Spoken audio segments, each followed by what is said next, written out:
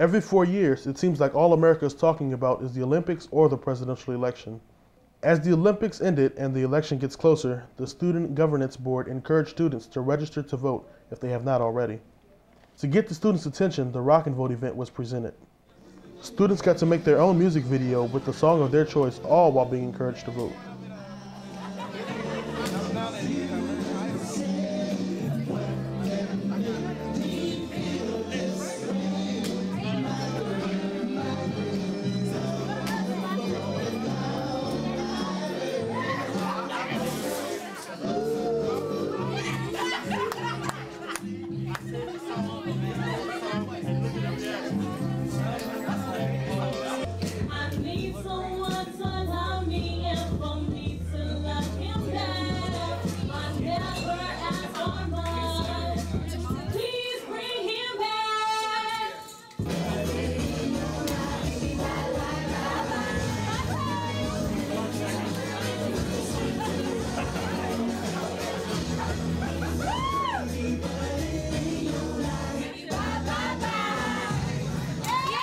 The music video was free and registering to vote was free, which encouraged students to register.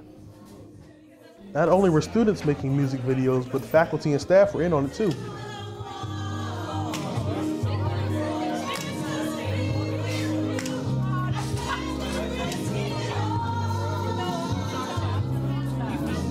Besides making music videos, there were a lot of students registering to vote. The student media group caught up with some of the students and got their views and opinions of the presidential campaign.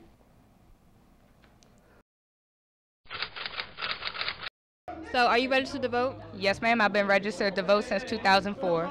Are you a registered voter? Yes, I am. Yes, I'm registered to vote. Yes, today I just registered to vote for the first time, so yes. Yes, I am. Yes, I'm registered to vote. And um, for those of you all who are not registered to vote, this is very important. Please, we need your help. You come out and vote. Register and vote. And what are your views about the campaign? Um, right now, I am one Democrat, so I'm very um, concerned about the health insurance policies and policies involving education.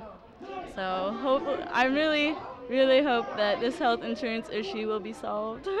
Well, seeing as how this is my the first time I'm um, voting for a presidential election, I'm actually still being educated a lot on the process and how it's going to go. What are your views about politics today?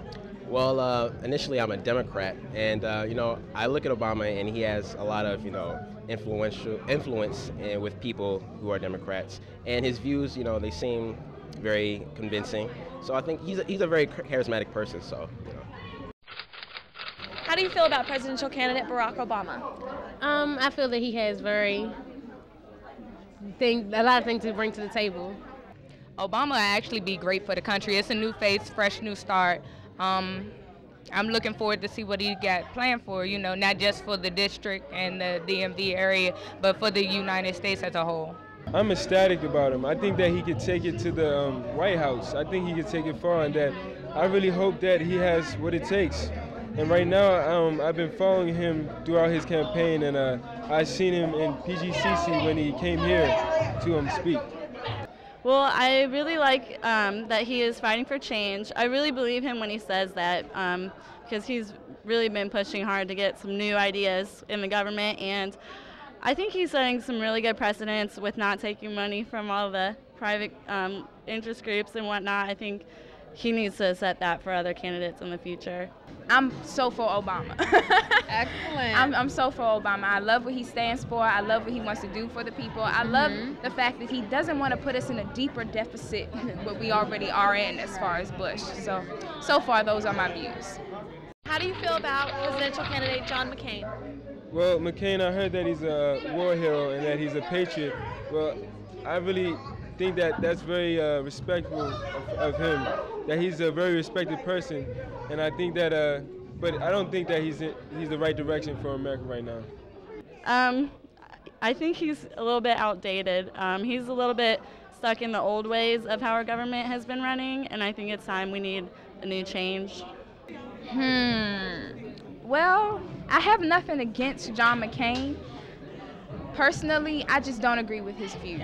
I really don't. Um, I know I've read a commercial. I saw a commercial about John McCain uh, supporting Bush and supporting supporting Bush and supporting the war, and he agrees that if you don't make five million dollars, then you're not a part of the Commonwealth.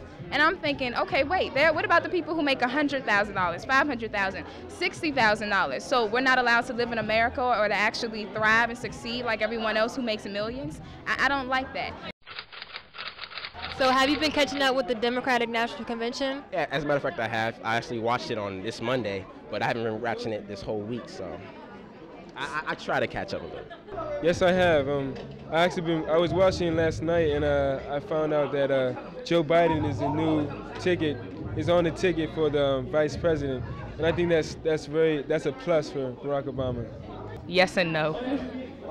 So somewhat you watch it whenever you can? Yeah, when I get a chance. Totally, yes, I've, absolutely. This is actually the first time I've watched it completely through. And one thing that I really love about it, because you know I am voting for Obama, mm-hmm. but one thing I love about it is that Obama's wife Michelle stands next to him as his equal and not behind him. And not only does that show that they're representing the people of color in the White House and in the politics, but they're also showing that women are just as equal as men, and that even though you're married or single, you women and men are still equal. And women and men still have the same power, and they can still go far as far as jobs, as money, as making decisions like that. They're equals, and I love the fact that they're showing that and that she stand by her man. So. So are you going to watch the Republic National Convention next week? Yes, I have. That's that's actually a part of you know seeing who you're up against as a Democrat. Once you get to realize what you're going up against, you can basically decipher who you're going to vote for and who you're not going to go for. So. I think I will, you know, because I want to have an overall perspective of how the Republicans feel, so I could just wait it out and see how I still feel about the situation. We also caught up with Paula McIntosh, head of College Life Services, to give students more information about what they have to offer and more about upcoming voter registrations. Well, Rock and Vote, I think it's important to get our students to be aware of the importance of going out and register to vote so they can participate in our electoral process. Um, this has been a tradition of the Student Governance Board. It's also mandated um, as an institution that receives federal funding that we are required to make um, registration, voter registration available to our students. And so it's been a tradition of the Student Governance Board to coordinate in partnership with other student organizations on campus voter registration drive. We're registering students to vote here at PGCC. We have some upcoming dates for registration, and all of the registrations are in the same places outside in the Largo Student Center and in the breezeway between Bladen and financial aid and the police substation. So come out on certain days. There will be flyers. What do students need to know um, to register? What does it take to become a registered voter here in Maryland? Basically, you just need to be a Maryland resident, resident, excuse me, 18 years of age. You need to have a valid Maryland ID, and you can register up to 21 days before the actual election, as long as you're 18. 21 days before the election. That's coming up quick. November's the election. Don't wait till the last minute. You need to get out and vote. So that's one thing that I really love about Obama because he's really teaching the college students and the high school students that education is important. And even though you may not want to do it, if you take care of what you got, what you don't want to do now, later on in life, you'll be able to do whatever you want. You heard it here first, students. That wraps up this section on politics. I'm Natalie. Thank you. Can I give you a high five? I was like dead on with everything you were saying.